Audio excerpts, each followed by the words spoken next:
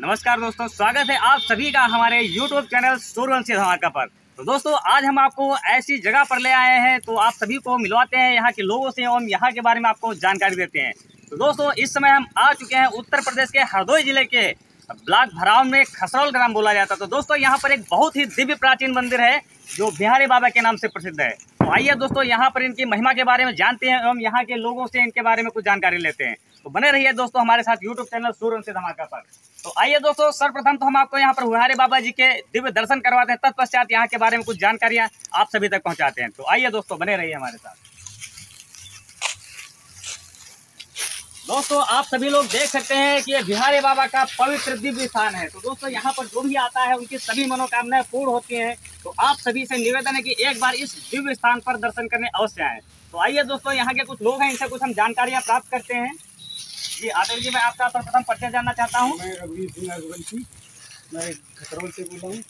ये हमारे जो बिहारे बाबा का जो मंदिर है जी जी। एक दिव्य आस्तिक और दिव्य वो है तो हमारा जो यहाँ पे अर्घवंशी समाज रहते हैं और अगले भी समाज के लोग हैं सब लोग मिलके यहाँ पे मेला कराते हैं। तो यहाँ मेला जब हम लोग कराते हैं तो जागरण कराते हैं जैसे किसी और को बुलाया हमने तो निराला जी को भी बुलाया था मैंने। तो यहाँ का जो मंदिर है तो इसके बारे में मैं ये कहना चाहता हूँ यहाँ का जो मेला में हम हम लोग जब मेला यहाँ कराते हैं तो हमको मेला कराने में थोड़ा सा प्रॉब्लम होती है। जैसे हमारे भाई हैं इनकी ज़मीन बेचारे जैसे कि हमारे बिहारी बाबा के आगे मंदिर भी जगह भी पड़ी हुई है। थोड़ा हम ये सोच रहे हैं वैसे बिहारी बाबा का भी नाम अच्छा है तो जिस हिसाब से ये सच्चे हैं उस हिसाब से इनको थोड़ा एक उसने निकाला है तो लोगों को मालूम पड़े हाँ ये बिहारी बाबा सच्चे तो यहाँ पे सब लोग आए हमारे गाँव में आए बिहारी बाबा के पास आए जो भी व्यवस्था पूरे करते हैं वो मिलेगा यहाँ पे। ये मुझे पक्का विचार है जब से मैं भी इनके पास जुड़ा हूँ जब से तब से मुझे पता ही नहीं क्या हुआ। भगवान ने हमको इतना बदल दिया हम पता नहीं इतना अच्छा अच्छा चीज़ करने लगे। तो इसलिए कहते हैं अंधविश्वास पर बिल्कुल मत जाइए।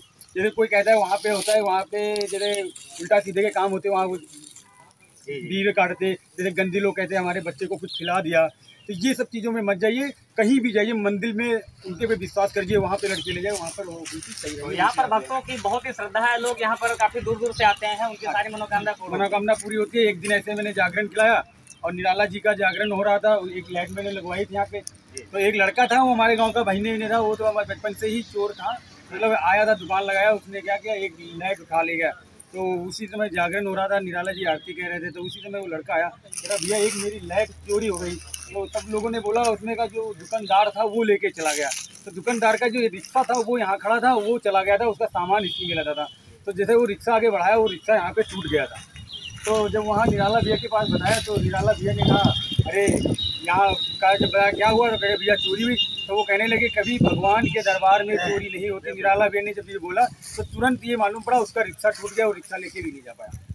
तो ऐसे ही है तो इसलिए मैं कहना चाहता हूँ, मेरे बिहारी बाबा में आइए, सब लोग जानिए कैसे हर जगह भी जाइए, अंधविश्वास में ना जाए मंदिरों पे जाके दर्शन करें तो दोस्तों, आप लोगों ने देखा कि जिस प्रकार से भाई साहब ने बताया कि यहाँ पर इतनी लोगों की श्रद्धाएँ एवं यहाँ पर एक बहुत ही दिव्य चीज़ है कि यहाँ पर कोई व्यक्ति आता है, अगर यहाँ से कोई चोरी करना चाहे, चोरी ले जाकर सफल नहीं हुआ, क्योंकि कुछ ना कुछ उसके साथ हो जाता है। तो वैसे भी हम लोगों को इस तरह मतलब श्रद्धा रखनी चाहिए कभी भी किसी के बारे में गलत ना सोचे। और ये इतना दिव्य स्थान है कि भाई साहब ने बताया कि यहाँ पर ये बचपन से जुड़े हुए हैं एवं यहाँ पर इनकी इतनी श्रद्धा है कि ईश्वर ने आज इनको सक्षम बना रखा है इस प्रकार से लोगों की सेवा कर रहे हैं। तो बहुत अच्छी बात है दोस्तों आइए यहाँ के बारे में कुछ और आदिल जी हमसे भी कुछ हम जानकारी लेते हैं। जी आदिल जी मैं आपका परिचय जानना चाहता हूँ। मैं स्वर्ण कुमार सिंह गर्भश्री तो ग्राम सभा खसरौल से। जी। ये हमारे पूर्वजों का मंदिर है। जिस प्रकार से हमारे पूर्वजों ने इनको माना है उसी भाग हम लोग भी मान रहे हैं। और हर किसी श्रद्धालु की मनोकामना यहाँ पूरी होती है। हम लोग मिलजुल के यहाँ मेला कराते हैं साल में एक बार मई में। जी। समस्या इस बात की है कि यहाँ सबसे समस्या हमारे स्थान पे जगह की। जगह की समस्या है। और जब कभी हम लोग सोचते भी हैं जी। कि यहाँ आगे जगह पड़ी है कि हट बढ़ के कुछ इनका संस्थापक व्यवस्था बनाई जाए तो लोग उस, उसमें कोई न कोई हस्ताक्षेप कर देते हैं। ऐसा नहीं होना चाहिए। हम लोग यहाँ ना तो कोई अपना मकान बनाना चाहते हैं ना कोई घर बनाना चाहते हैं। हम लोग बनाना यही चाहते हैं कि हमारे पूर्वजों का देव स्थल है। जिस प्रकार से पूर्वजों ने इसको बना के रखा है उससे हम लोगों का फरकस ये प्रयास है कि इसको हम आगे जागृत करें आगे बढ़ाएँ।